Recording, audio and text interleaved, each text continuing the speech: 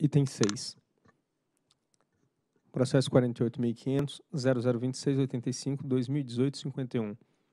Trata-se de requerimento administrativo que foi interposto pelas Centrais Elétricas Brasileiras, Eletrobras, com vistas à aprovação de mecanismo de compensação de sobras e déficits de energia nova específico entre as distribuidoras designadas.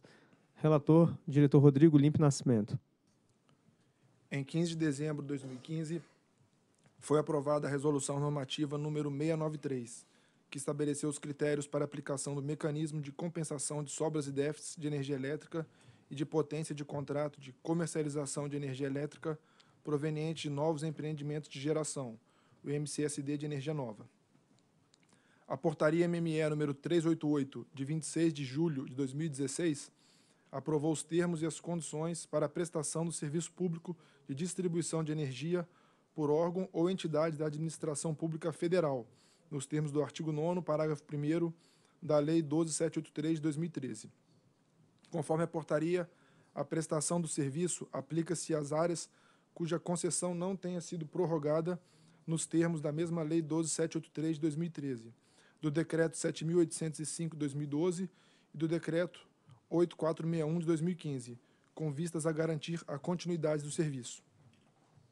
A Resolução Normativa número 748 de 2016 estabeleceu os termos e condições para a prestação do serviço público de distribuição de energia elétrica por distribuidora designada, nos termos do artigo 9 da Lei nº 12783 e da Portaria 388, e também de outras providências.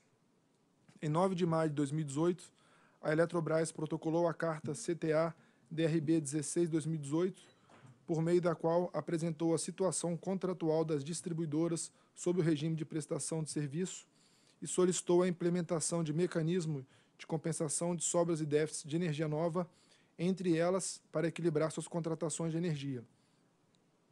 Por meio de nota técnica número 86, de 7 de junho de 2018, a SRM manifestou-se favoravelmente ao pleito apresentado pela Eletrobras. Em 16 de junho de 2018, o processo foi, é, foi distribuído por sorteio a esta relatoria. Procuradoria. A Procuradoria opina pela presunção de juridicidade das decisões a serem proferidas pela diretoria.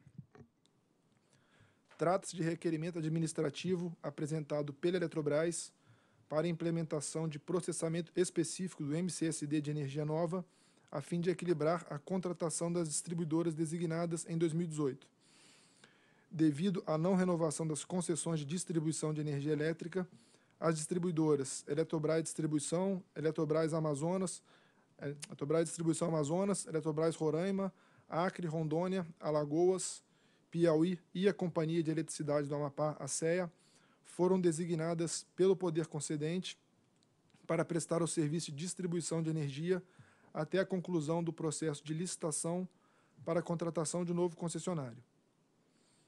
O regime de designação é regido pelo artigo 9 da Lei 12783 de 2013, pela Portaria 388 de, de, do Ministério de Minas e Energia e pela Resolução Normativa ANEL número 748 de 2016. Durante o período, cabe ao poder concedente designar o prestador de serviço, definir as condições a serem atendidas, bem como propiciar condições para que haja continuidade e adequação do serviço prestado. Nesse contexto, a Eletrobras, por meio da já citada carta, solicitou a implementação do MCSD entre as distribuidoras do grupo, de forma a equalizar as sobras e déficits de energia no ano 2018, Segundo ela, a Eletrobras distribuidora Amazonas, Roraima, Acre, Rondônia, Alagoas e Piauí possuem sobra de energia, enquanto a Eletrobras distribuidora Rondônia é deficitária. A tabela 1 a seguir apresenta o balanço das contratações. Só destacar que a Rondônia tem dois itens, um é com a garantia física da Termonorte antes da revisão e depois com a garantia física pós-revisão, que eu vou citar aqui embaixo. Em relação à distribuidora Rondônia, a Eletrobras alegou que a exposição ocorreu em função da redução da garantia física da usina Termonorte 2 de 289 para 34,8 megawatts médios, conforme portaria do MME número 386 de 18 de dezembro de 2017.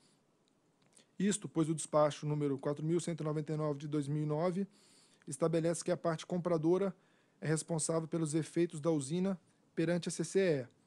Aí na tabela fica bem claro que todas as outras distribuidoras, com exceção da, da distribuidora de Rondônia, possuem sobra de energia, enquanto a distribuidora Rondônia possui um, uma, um déficit de, de 88,69 megawatts médios.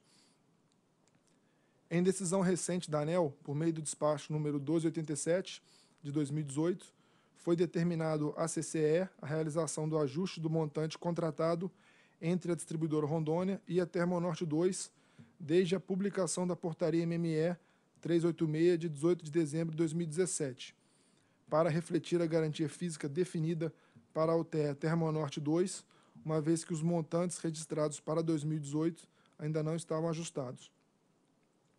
A Eletrobras declarou ainda que a sobra das demais distribuidoras são suficientes para eliminar toda a exposição da distribuidora de Rondônia em 2018, de forma a equacionar a exposição decorrente da Termonorte 2. A empresa solicitou que a transferência possa ocorrer para o ano todo, e não somente de maio a dezembro. Por se encontrar em situação de inadimplência com, com o MCSD de energia nova, as distribuidoras Alagoas e Piauí foram impedidas de participar do processamento para descontratar energia no mês de abril de 2018. A SRM destacou ainda o caso da Eletrobras Distribuidora Roraima, que não está interligada ao sistema interligado devido a atrasos na implantação da rede de transmissão, mas que possui energia contratada nesse ambiente e não a utiliza. Assim, tal proposta de transferência de contratos ajudaria a mitigar também o problema financeiro apresentado pela distribuidora. A SRM ressaltou ainda o regime de prestação de serviço de distribuição de energia, ora em análise, é excepcional e provisório, o que permite a implementação de um mecanismo de compensação de sobras e déficits exclusivamente para os agentes que se encontram em tal situação. Entendo ser factível a implementação do processamento para essas empresas, tendo em vista que todos os efeitos de inadimplência ficariam limitados àquelas distribuidoras designadas sem mudança de risco de recebimento pelo gerador do contrato original, pois este não será modificado. Neste caso, não haverá participação de geradores ofertando a, a redução, visto que o objetivo é equilibrar a contratação das distribuidoras designadas por meio da cessão de contrato entre elas. Conforme apontou o SRM, a implementação da proposta parte de algumas premissas e condições, a seguir pormenorizadas.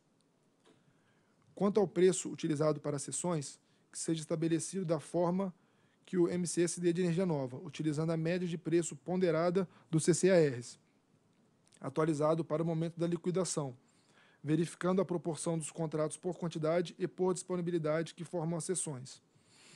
Na definição dessa média, são utilizados os preços atualizados dos CCARs na modalidade quantidade e o ICB na modalidade disponibilidade. A vigência das sessões deve ter início em janeiro e fim em dezembro de 2018, dada a problemática do montante do contrato da Seron com a Termonorte 2.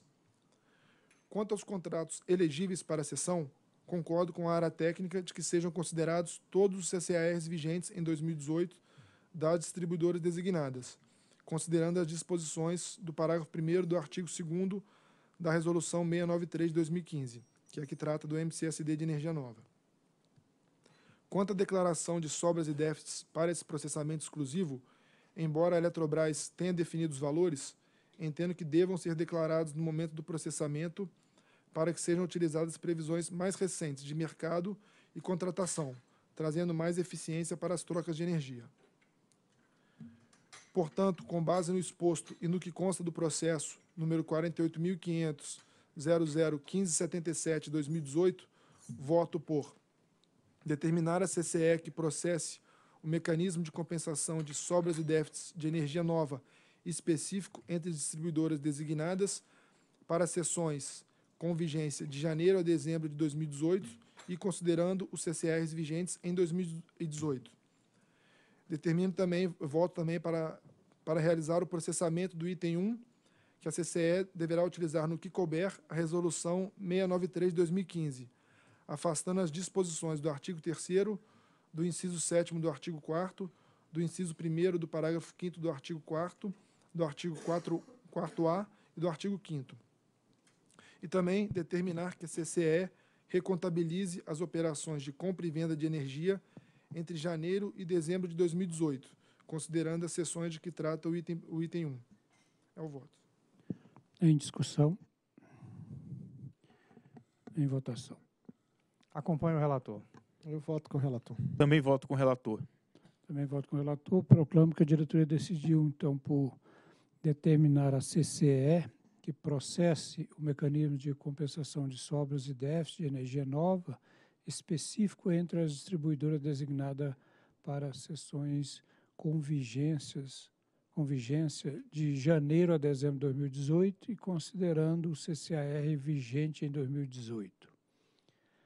Também decidiu para eh, realizar o processamento do item 1, a CCE deverá utilizar no que couber a resolução 693 de 2015, afastando disposições do artigo 3 do inciso 7 do artigo 4 do inciso 1 do parágrafo 5 do artigo 4 e do artigo 4A e artigo 5 E também determinar a CCE é, que recontabiliza as operações de compra e venda de energia entre janeiro e dezembro de 2018, considerando as sessões de que trata o item 1. Próximo.